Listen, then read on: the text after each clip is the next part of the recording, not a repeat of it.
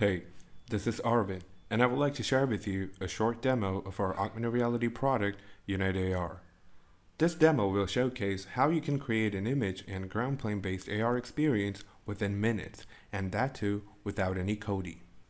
Let's get started by going to unitear.com. Now, UniteAR is a SaaS platform that lets you set up an AR experience and deliver them as a web experience or an app based experience. There is a sign up process, and also you need to go through a verification. And once that's done, you can log in. Or you can just click on this button and sign in with your Google ID. But I have a registered email ID, so I'm to head over to sign in and type in my email ID and password. Once you've signed in, you'll be taken to this page over here, which is your project library. And this is where you manage all your projects. And over to the left, you have image-based AR, ground plane AR, and AR app creator. So we're going to start by exploring what is image-based AR. Now, this is where you scan a target image and through using an application or a web scanner to experience the augmented reality content. So I'm going to click on add new project and that is going to load up the editor. You'll be given two options when before the editor comes live. You can choose either image detection or image detection with QR. Now, image detection with QR has a QR code attached to it, so there won't be any duplication issues. But with image detection, you don't have a QR and there will be duplication issues. That means you cannot upload a single image two times. So I'm going to click on create under image detection and browse a target image.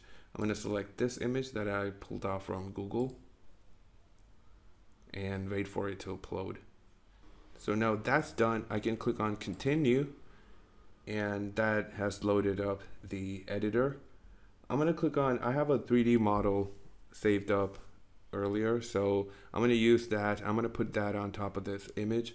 Or alternatively, you can you, you can put in videos or 360 degree videos, images, audio, or a CTA button if you want that. Uh, we also have a library of content that if you're looking at content, so we have that as well. So, but since I have a customized content, I'm going to click on browse and select this content over here, which is an engine model and hit open and wait for it to upload. Once that's done uploading, I can see a preview like this. I can select the model and zoom in if I want, but for now, just going to put it up a bit, scale it, and rotate it. So now you can see, or what you can do is if you are scanning on a textbook, if you are doing this on a textbook or a printed surface, you can put it like this as well. Let me just keep it down a little. All right, so I think that's good. I think that's good. We can leave it like that and maybe reduce the scale a little bit. Perfect. So now I'm happy with the way it looks. What I'm going to do is I'm going to click on preview. I can click on preview to see a preview of how it is going to look. It's not yet published, it's not yet live, but you can still use the app to see how it is.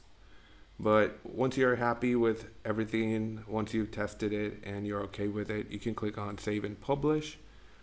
And that's going to make this augmented reality experience live you can see that a save successfully message has popped up at the bottom. Now this is all there to it to create an augmented reality experience using Unite AR. Now let's go over to our project library and as seen on the left, let's explore the second option that is ground plane AR. I'm going to click on it.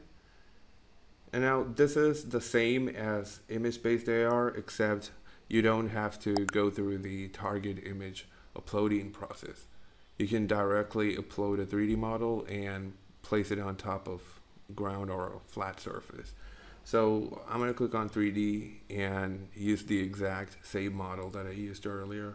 I'll click on open and wait for it to upload. Now the upload is complete and I can see a preview like this.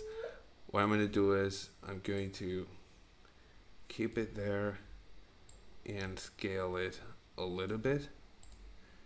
I can also, if I select it and it can rotate it so that it's going to face the viewer. All right. Okay, so once you're happy with the positioning and the way it looks, you can click on hit save and experience and that's going to bring that model to the ground plane. Now, if you go back to the project library again, if you click on the close button and click on the icon over here, it's going to take you back to the project library. And if you click on AR App Creator, that is going to let you white label Unite AR application in the Play Store. So what I'm going to do is I'm going to click on create new application. That is going to load up a page where I have to enter the app name. I'm going to enter test UTI and you can choose a font type. But for now, I'm just going to leave it at Open Sans. And also you can choose to upload an icon, an app icon. I'm just going to choose that one because it was just lying there handy. And I'm going to click on crop so you have your app icon uploaded. And I'm going to click on start creating app. And that will ask you to create your app loading page. That means when you tap on the icon and when the app is loading, you can set the page to show when the while the application is loading. You can you have different types of logo shapes. I'm gonna click on square and leave it at that because it just doesn't make any difference since it's a test one. You can also add a background. You can add a background image or a color, or if you have a custom image, you can upload that as well. However, there's a size limit of five megabytes. And you also have a recommended size and the supported formats as well. Once you're happy with everything, you can click on the next button and that's going to take you to the image scanning page. This is where you point the mobile phone or the device as a printed a printed paper or a, an image to scan it. So you can set up all the buttons and you know the skins, the flash button or AR gallery, anything. So I'm just going to leave it at default and click on next. And if you want to have a side menu, you can enable that here. And so that's going to add this burger icon over the top left. I'm going to click on add new menu and page and you can enter the details and that is going to appear on on the top. So you can have a preview like this. I'm just going to disable that for now and click on the next button.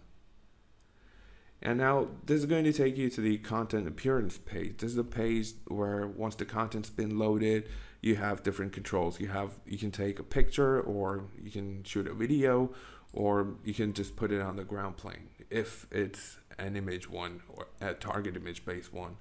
So I'm, I'm also here also I'm just going to leave it at default and click on finish steps. And that's going to ask me for confirmation and I'm going to click on yes, I'm sure. Now it's going to ask me which OS that I need this to be built in. Uh, for iOS, you have difficult steps. You have to wait for their confirmation and things like that. So I'm just going to demo Android. So I'm going to click on generate app and it is going to build the app. Now this, this is going to take about five minutes to build the app. So let's all just wait. When the app building process is complete, you'll be taken to this page where you can scan this QR code to download it to, to your phone or your device, or you can just click on this download button and save it to your computer. Another interesting feature that's available with Unite AR is that you can embed the WebAR viewer onto your website. So to do that, in your project library, you need to click on Embed WebAR Viewer. Now this comes in handy for e-commerce website who wants to showcase their products, let's say a sofa set. You can give customers try on, like to see how the sofa would fit inside their living room and things like that. So once I'm in this page over here, what I can do is I can copy this iframe code. I can adjust the height and width over here, but I'm just gonna leave it at default and I'm gonna click on copy embed code. After this, I'm going to minimize my browser window and create a new text document and name it test. And I'm going to also change the extension to HTML so that it's a uh, it's a web file. Now I'm going to right click it and open it with um, open it with another uh, text editor. So let me find the notepad. Okay, so notepad and click OK. Now I'm gonna click on, I know I'm gonna paste this by pressing Control V and save it. So now when I close it and open it up with a browser, what it's going to take me to is the Unite AR web scanner.